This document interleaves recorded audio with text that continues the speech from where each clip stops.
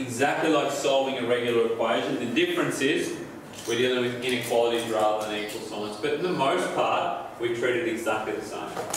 I'm going to go through a couple of examples on the board initially, and I'm just going to make us aware of a little trick that we need to, there's one difference that we have to be aware of, and it should pop up at some point. So, this one here, what's the, what's the strategy, what's the approach I should use? Get x. I want to get x by itself, correct? And how do I do that? There's a strategy or a process I follow, Gracie? Um, reverse bomb. Reverse BOMDAS and opposite operations, correct? So what's the first thing I want to take, Mikey? Um, take away four. Yeah, I want to get rid of that 4, so I subtract 4 from both sides. Yes. So there's nothing different at this stage about the way we go about it. So I've now, get, now got 6x. 6x is greater than or equal to 12. What's stopping that from being by itself, Jake? What's stopping the from being by itself? On the left hand side here, what's Six. 6? How do I get rid of it? You take it away. Yeah, but Divide, divide it, very good. So I divide both sides by 6 and I'm left with x is greater than or equal to Two. 2. On my number line, I'll just set up some numbers. And which way am I going? To the right? Coloured in or not coloured in? Very good. I'll check that in a second, but does that make sense? Well, let's just shove a value. What's a value I could shove in? Pick a number that I could check with. Was negative 1 greater than 2? Oh, um, two. 3. So let's start 3 and 3 times 6 is 18. plus 4 32. is 22 bigger than 16. Yeah. So that holds up. I've just checked all good. And normally if I was checking in the exam, would I do it like that or would I show? Show it actually add the working and to show that I've checked my answer. For the next one, same approach, alright? So what should I attack first? What are the two things stopping the action being by itself? Give me one of the value. What's one of the things stopping the action being by itself? Two. Two. And what's that doing to the, what's that negative doing? What's that really? Negative what? Negative 1 times x, correct?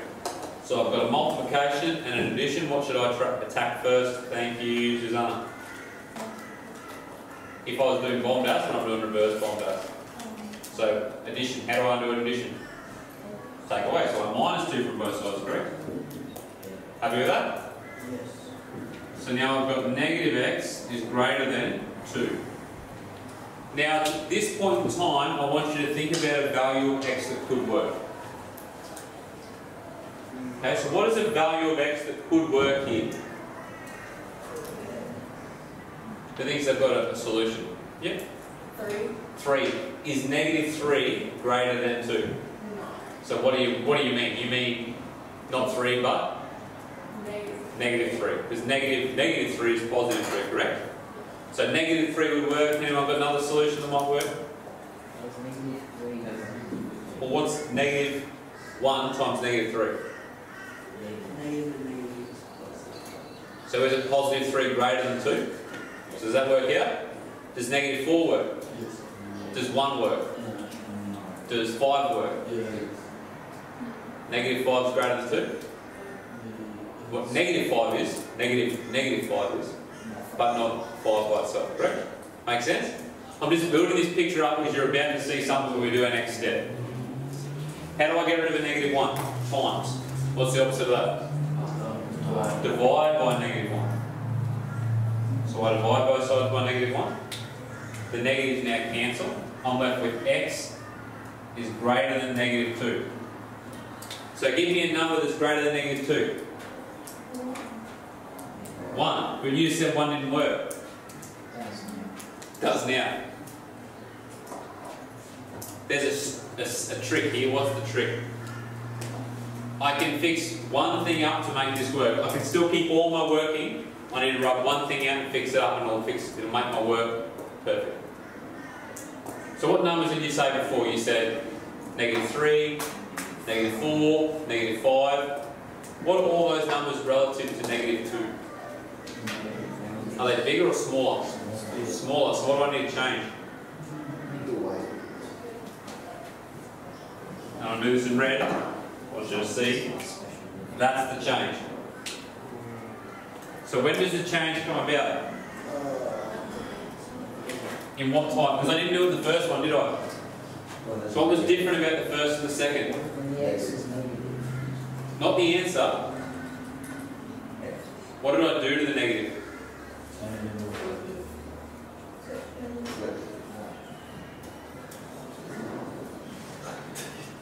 Be careful when dividing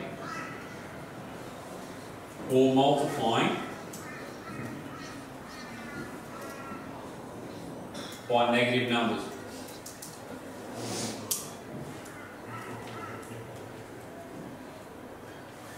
So what do I do if I divide or multiply by negative?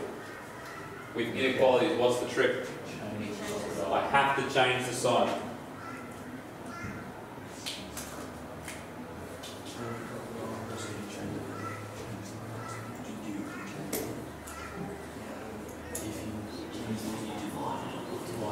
Okay, let's have a look at the last one. First step, what do I have to attack? What's stopping the action being by itself? I might do it over here because I'm running out of room, so I'm just going to do it up here. What did I not do for question B, by the way? I missed something. I didn't do my number line, but I'm assuming we can do that on our own. So I need to do what to get... Mikey, what's missing?